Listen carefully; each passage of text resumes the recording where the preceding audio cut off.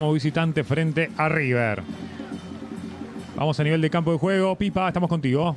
Recibimos a Marcelo Méndez, el entrenador Violeta. Marcelo, ¿reapareció el fútbol que vos siempre pretendés para tus equipos? Bueno, sí, por el momento sí.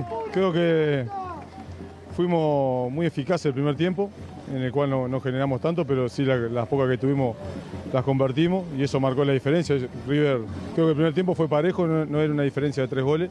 Ellos también tuvieron algunas oportunidades para, para convertir y ahí tuvo la diferencia el primer tiempo. Después, obviamente, el segundo tiempo, con la diferencia en el marcador y, y quedar con un hombre menos, se, se nos hizo todo más fácil.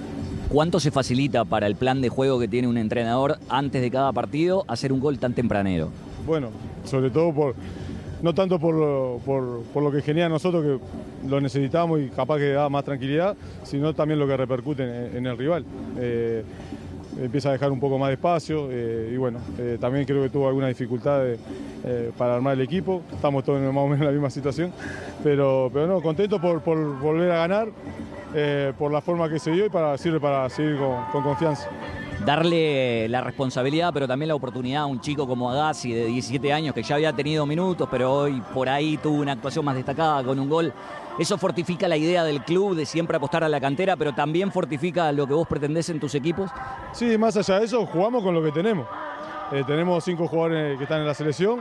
eh, el, mismo, el mismo razonamiento de la otra vez. Quedamos con un plantel corto eh, y bueno, tienen que aparecer, sí, por suerte acudimos a los jugadores que ya están entrenando con nosotros del año pasado, el tanto Agassi, Cambón, Amaro, son todos chiquilines de 17 años. Tirarle la responsabilidad a ellos para que resuelva los problemas de una institución tan grande como la Defensor no me parece justo. Hoy nos ayudaron, pero sabemos que esto eh, es relativo eh, por los altibajos que tienen, porque recién están arrancando en su profesión. Así que eh, es bueno resolver como equipo y no, no que resuelvan ellos solos.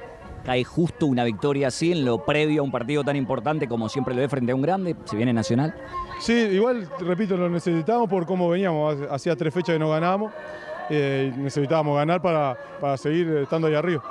Gracias Marcelo. Vamos arriba, ¿no?